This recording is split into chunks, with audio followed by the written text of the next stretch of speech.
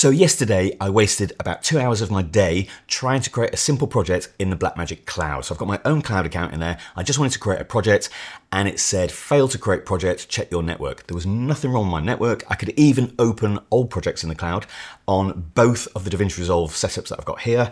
I went home, tested it on my MacBook Pro, which is on a completely different network, and I got the same issue. So I'm gonna share with you the fix. It's really simple, but I couldn't find much online about it.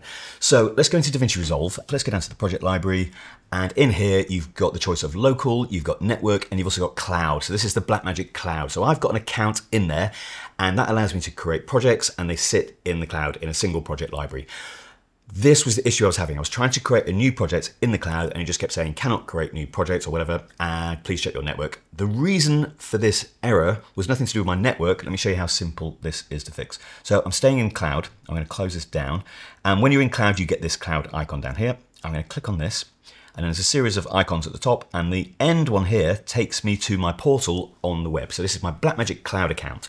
Now I've got the first level of paid, which is $6 a month, and this allows me to have uh, a project library and in there I can have as many projects as I want, so it's fantastic for me. You can upgrade that to have um, storage attached to it as well if you want to actually start sharing proxies and actual media, you can do that as well. There is also a free account in there. The free account, please note that it doesn't let you create projects, it just gives you an account. So I've got the basic level $6 a month and it works great for me. So in here is all my projects. Let me show you how I fix this. Go to the settings up here. You need to go to your account and go to manage plan. And all I had to do, I can't show you what it did look like because I've already upgraded it, but I was in the beta version of this. So all I had to do is press upgrade plan. I chose the same plan that I'm already on, so the $6 a month one, and it took me out of the beta version, and then I could happily create projects. It was as simple as that. So I could read my old ones, I just couldn't create. So this is a really easy way of managing that. So let me know in the comments if you want me to do an episode on the cloud and how it works. I can do a step-by-step -step video on exactly how it works and how I'm using it in my professional workflow.